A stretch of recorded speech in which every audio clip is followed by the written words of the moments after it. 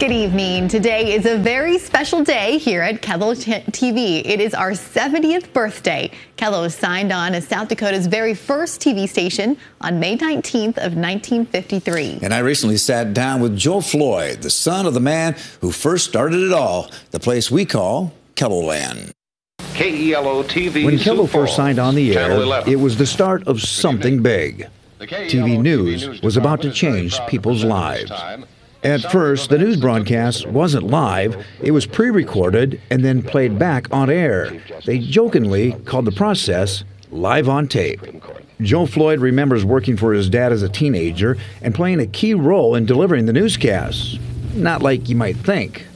I'd take that film and then go downstairs, drive it over to the back of Harold's photography shop, take it downstairs, and they would develop it. Floyd would then drive it back to the station where crews would splice in commercials. When they finished doing that, then it was a master reel.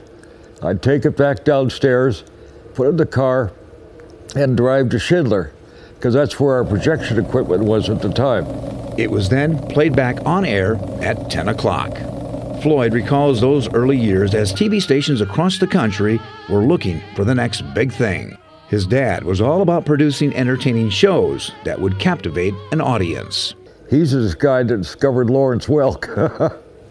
Lawrence Welk was playing across the studio, and he somehow saw him. Got a hold of some guys from ABC. They were looking for a program. He says, Here's your guy. Floyd's dad also wanted a children's program, so he started Captain Eleven and picked Dave Dedrick to play the part.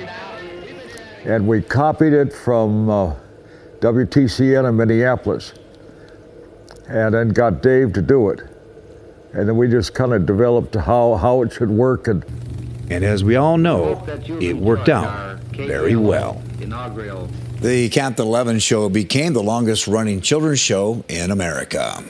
I'll celebrate 70 years with us tomorrow night as we take a look back at the biggest stories of each decade since we've been, on the air. The KELOLAND 70th anniversary special will be an hour-long primetime show that airs at 7 o'clock Central Time right here on KELO TV. KELOLAND News executive producer Anna Peters worked with photographer Ashton Fechner digging through seven decades of archive video. My absolute favorite thing I found was Louis Armstrong. He's on set talking about playing his horn and he's got a scratchy voice and then all of a sudden you see him bring his cigarette up to his mouth. So he's on the KELO set smoking a cigarette and talking about a concert in Sioux Falls.